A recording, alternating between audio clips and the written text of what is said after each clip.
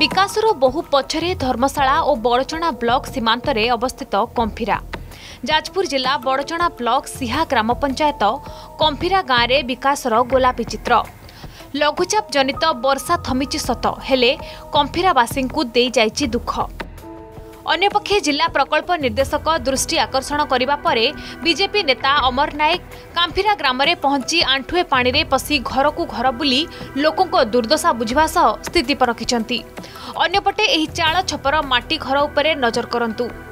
ସେହି ପରିବାରଟି ଦୁଇ ଦିନ ହେବ ଘର ଛାଡ଼ି ଅନ୍ୟତ୍ର କେଉଁଠାରେ ରହୁଛନ୍ତି।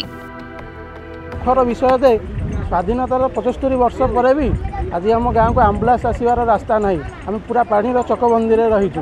ମୁଁ ସତୁରି ବର୍ଷ ହେଲା ଏମିତି ଆମ ଗାଁରେ ପାଣି ଘେରରେ ଆମେ ଚାରିଶହ ପାଞ୍ଚଶହ ଲୋକ ରହିଛୁ। ଆମର ଏଠି ସ୍ଥାୟୀ ଡ୍ରେନ୍ ଗୋଟେ ଦରକାର।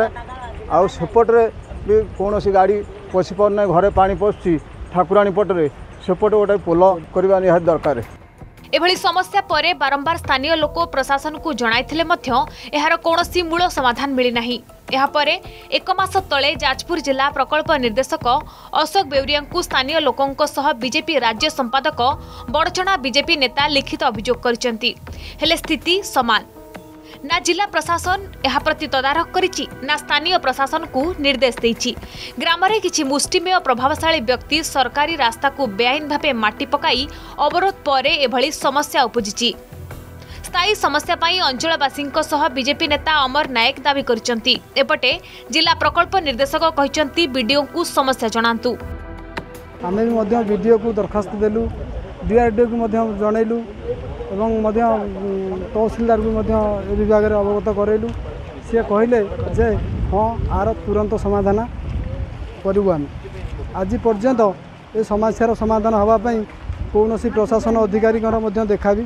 ନାହିଁ ଲୋକ ଘର ଭିତରେ ପାଣି ପଶି ଯାଇଛି ଲୋକମାନେ ଘର ଛାଡ଼ିକି ଅନ୍ୟତ୍ର ରହିବା ଆରମ୍ଭ କରିଛନ୍ତି ପ୍ରଶାସନ ତଥାପି ନି- ନି- ନିଦ ଭାଙ୍ଗୁ ନାହିଁ ତେଣୁ ମୋର ନିବେଦନ ଜିଲ୍ଲା ପ୍ରଶାସନ ମହୋଦୟ ଜିଲ୍ଲା ପ୍ରଶାସନକୁ ବିଶେଷ କରି ଜିଲ୍ଲାପାଳ ମହୋଦୟଙ୍କୁ ତୁରନ୍ତ ହସ୍ତକ୍ଷେପ କରନ୍ତୁ ଜଳବନ୍ଦୀର ସ୍ଥାୟୀ ପ୍ରତିକାର କରନ୍ତୁ ଏଠି ଜଳ ନିଷ୍କାସନର ବ୍ୟବସ୍ଥା କରନ୍ତୁ କମ୍ପିରା ଗ୍ରାମବାସୀଙ୍କୁ ନ୍ୟାୟ ଦିଅନ୍ତୁ।